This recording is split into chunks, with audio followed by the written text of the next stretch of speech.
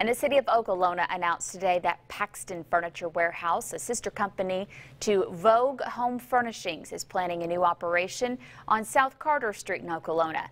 This company will be responsible for warehousing and distributing of upholstered furnishings out of this 126,000 square foot facility. Right now, Paxton Furniture's warehouse plans to hire five to six full-time employees through express employment. We're very excited to have a new industry in town. We're excited that they um, have enough belief in us that we're going to take care of them. Um, I want it to be known that we uh, take care of all of our industries and their needs and that we're here to serve them.